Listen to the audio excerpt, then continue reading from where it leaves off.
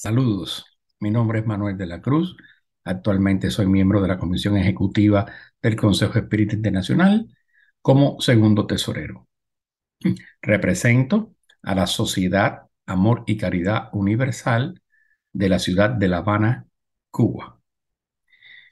En el año 2004, en el mes de octubre, nuestro país, después de un arduo trabajo, fue aceptado como país observador dentro de esta hermosa institución.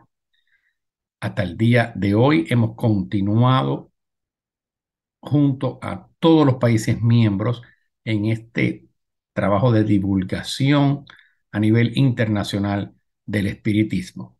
Ya en el año 2009, en el mes de junio, en Bélgica, fuimos aceptados como país miembro dentro del Consejo Espírita Internacional. O sea, pasamos de la categoría de país observador a finalmente ser miembro oficial dentro de las filas del Consejo Espírita Internacional.